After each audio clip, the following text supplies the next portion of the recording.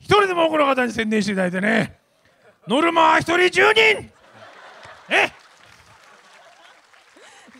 大泉さん弾けてくださいって言きましたよ。弾けてください。ええ。弾けた。弾けたな今。あいいですよ。はい。嘘をついて大失敗したという経験皆さんございますか？水川さんございますか？嘘をついてあるだろう。あるだろうって嘘ばっか嘘ばっかついてるからどういうこと？嘘なんかほとんどついたこと嘘ばっかないんでついてるだろお前。ですねほぼないんですけれども、まあ一つ思い浮かぶというすると私はあの極度の方向音痴なのでなんですけど自信はあるみたいなところがあるのであの先陣切ってこっちだよって言っていろんな人を誘導するんですけどあの場所には一生たどり着けないみたいなことはあります。まあ嘘じゃないけど嘘今日もなんかずっと違うところにみんなといらっしゃった。それは私じゃないんですよ。あだからなかなか皆さん私じゃないです。なんか間違った男に行っちゃったというのは水川さんが行っちゃったからなんですか？いや皆さん9階にいるのにえ何何人かのキャストとスタッフだけそう11階に。誘導されてそれは私が誘導したわけじゃないんですけど。違はい。うんですか？君じゃないの？でも私がいたからそうなったの。かもしれないです。そう思うと。たどり着けない星のもとに生まれているからうんね。そうかもしれないです11階にねずっとはい。思ったよりも大変なことになっていそうそうたいたっていう。あそんなに勘違いしてたんだと思ってだいぶ、可愛いですね。可愛いですね。松重さんも今可愛いなっていうねこのこの嘘は可愛い嘘ですよこれね。可愛いですね。許せ許せる嘘ですねこれね。もうちょっと気持ち入れて言ってくださいよ。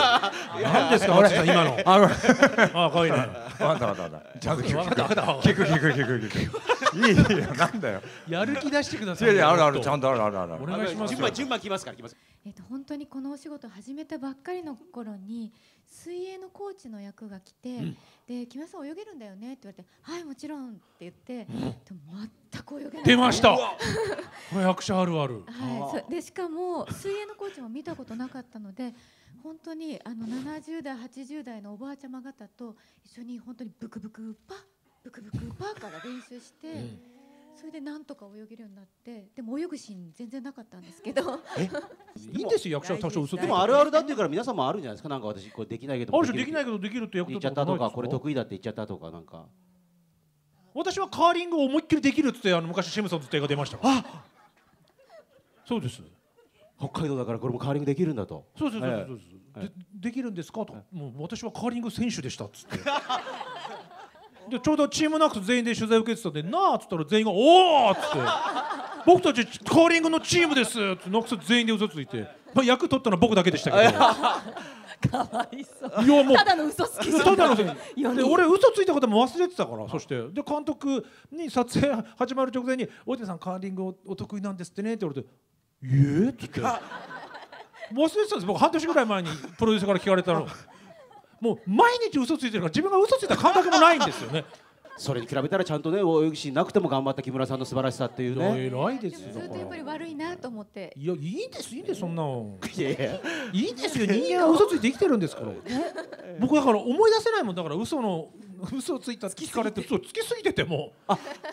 いいエピソードが出てこ逆に出てこないってね。もう覚えてないね嘘なんていうのは。ねあのまあきっとこういう時はあの皆さんぜひ広めてください。面白かったらっていうことが多いんでしょうがまあそんなことは望みません。あの今日この場で この時間を共に共有できたことを本当にあの感謝していますしこの時間を一緒に過ごせた仲間として、え映画が一人でも多くの方に支持していただけるように祈っていただいただければ嬉しいと思います。小池さんの言う通りでございましてどうしてもねこういう初日なんかを迎えますと少しでも多くの方にというね方多いわけでございます本当に今日迎えられただけでも幸せいっぱいでございます。あのバレンタインのね日の公開ということで本当にあのデートムービーとかにねいいんじゃないかと。2時間を切っている大変こう見やすい作品でございます、えー人に勧める時にもですね見やすいよというね面白いよっていうなかなか大人がね見えるこういうラブコメディ少なくなっておりますので、えー少しでもね多くの方にね、えー言ってくれればとなんかこういいですか？皆さん宣伝しなきゃダメですよやっぱり。えー？小池さんはこういう方ですからねそうおっしゃいましたけど私は違う。死ぬ気で宣伝しなきゃダメですよあなたたち本当に。あなたたちにはその使命があるんだ。今日のね初日というここに集まった皆さんに ね皆さんたちはただの一般の方たちじゃないんだ我々の仲間ですよ。我々の同志だ。このグッドバイ制作委員会の一員ですよ皆さんは。この映画がヒットするかどうかあなたたち一人一人にかかってんねえ自分のことだけじゃないんですよ。大きくの映画の興行の成功皆さん担ってるわけだから。一人でも多くの方に宣伝していただいてね。ノルマは一人10人。え？一人10人にねメールをして。選挙活動になってるから。あと私のライトあの遮ってるからもうちょっとずれてくんないか。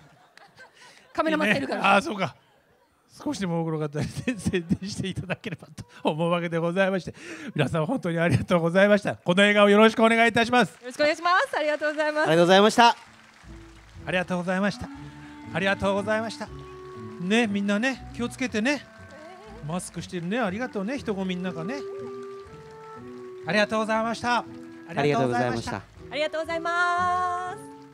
ありがとうございます。ありがとうございます